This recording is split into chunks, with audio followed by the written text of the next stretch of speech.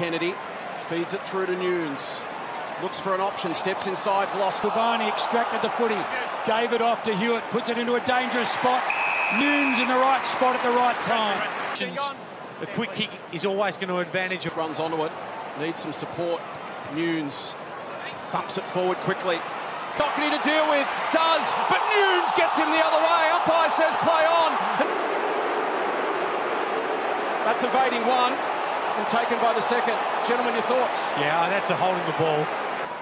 Now it's Richmond that need a little bit of time in possession. Newnes versus Ralph Smith. Cripps in there as well. Couple of blues to beat. Out the back, off the ground. Newnes towards Cripps. Newnes in the end gave it off. Newnes gets in the way. He's tackled by Box. Speed off to Jack Martin. His kick, dangerous inside. Newnes just gets there. Points. Three and a half left in the third. And this time the kick in hits its target. It's Newnes. Careful kick to Sart. Heard the Walsh. Nothing obvious inside 50. Back he goes to Newnes. Into the pocket. Crick. in the final 13 minutes. When he kicked at that football in the forward pocket, he looked very uncomfortable when he missed it, Abs. I'm not sure. Boyd pops a handball. Newnes needed to be quick and was.